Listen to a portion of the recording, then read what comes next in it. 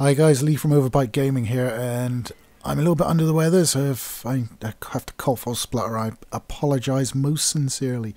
But uh, I, I feel like I needed to talk about this particular individual, and that particular individual, as you may have seen on the thumbnail, is Randy Pitchford. Now, Randy has had a litany of basically putting his feet so far in his mouth he can give himself a prostate check with his big toe. Now, many moons ago, when Aliens Colonial Marines came out, he was the guy pushing it, as he should be, because he's the CEO of the company Gearbox, the guys that made the game, oh, ordered door. And basically, he went around saying, oh, you know, the graphics are revolutionary, the AI is revolutionary, all this sort of jazz. And when it came out, neither of those things were true. In fact, it turned out that Gearbox themselves didn't actually do much work on it. They actually farmed it out uh, to a subsidiary, well, not a subsidiary, but uh, a, an outsourced company. And they were also alleged to have taken the funds received by Sega to make the game and ploughed that into Borderlands instead. That's a bit dodge, but that's just an allegation. I was not there. Now, moving on a bit, we've got further allegations against poor old Randy uh, amongst which he was accused of siphoning £12 million into his own bank account as part of a secret bonus that he allegedly received. I will use the term allegedly again. And uh, then he managed to leave a USB flash drive at a uh, restaurant come medieval jousting tournament. What the fuck? I don't know. Um, and on that flash drive was not only sensitive company documentation, but also a barely legal video of, a girl, um, well, let's just say, doing a bit of the waterworks sort of thing. I don't mean pissing, I mean she came so hard she squirted. I was trying to keep that classy. Didn't work. Never mind. Um, originally, it was the the allegation was that it was underage, but no, no. He's come out and he said no, barely legal. Okay, good. Thanks for clearing that up why that was on a flash drive with sensitive company information is a different story, but never mind, we'll, we'll move on. And then we've come to Borderlands 3. Now, Borderlands 3, in and of itself, Randy did not need to do anything else. Because, my goodness, the, the, the things he's done around Borderlands 3 are, I mean, let, let's start off with the first one, which is the Epic Store exclusive, where Randy's saying, basically the Epic the Epic Store is the best thing for gaming. No, no, it's not. But you know, you're entitled to your own opinion, so we'll, we'll, we'll let that go. I mean, okay, a lot of fans were pissed off by it, but there you go. Um, he's gotten shook with two voice actors, not one, but but two. Um, we'll start off with the least sensationalized one, and that's Troy Baker.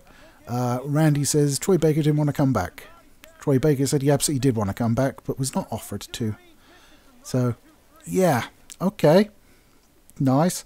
And then we have the guy, I think it's Eddings, who formerly portrayed Claptrap. Now, he did that when he was employed by uh, Gearbox Software, and he did it for free.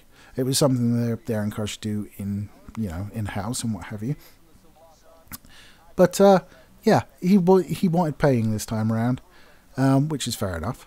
And Randy says they offered him, like, two times scale but Edding says no. And he was quite aggressive. He, Randy does come out on Twitter quite a lot and be very aggressive with people. And Eddings then said he was physically assaulted by him in the, the lobby of a hotel. Okay. So there's that. I mean, it's he said, he said, she said, so whatever. I'll, I'll allow you to assign gender in that example yourselves.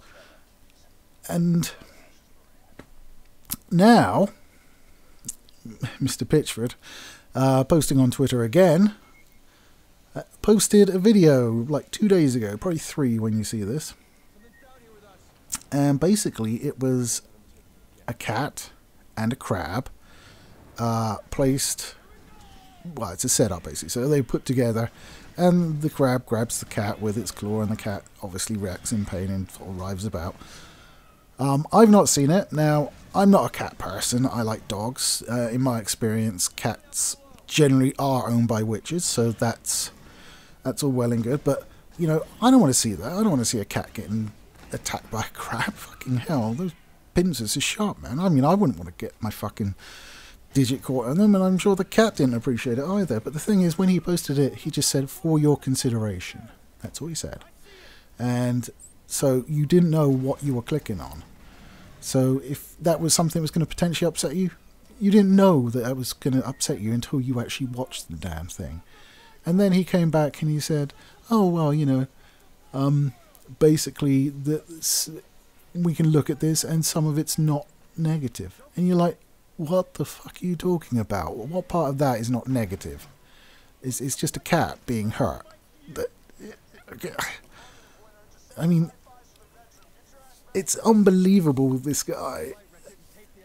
I just he's CEO of Gearbox. It's a privately owned company, so you know he's the boss, right? It's, if it was a public held company, I can't see him being employed there anymore. I really can't for the amount of shit he has brought to his own company. It's ridiculous. So here's a piece of advice, Mr. Pitchford. Stop tweeting your own personal opinions. Stop in fact, stop tweeting anything. Let your marketing department do it. That's what they're there for. Uh, your company will benefit from it. You will benefit from it. And people that don't want to see this sort of shit will also benefit from it. Oh, and side note, when people go to a video games uh, demonstration, they don't want to see magic tricks. Randy is a close-up magic expert. He is a magician. And uh, yes, a lot of their presentations involve him doing bloody card tricks. That's not why people are there, Randy. They'll go to a magic show if they want to see that. Oh, dear. Oh, and also that angry English large person that you uh, apparently can't remember the name of. That's Jim fucking Sterling, son. And thank God for him.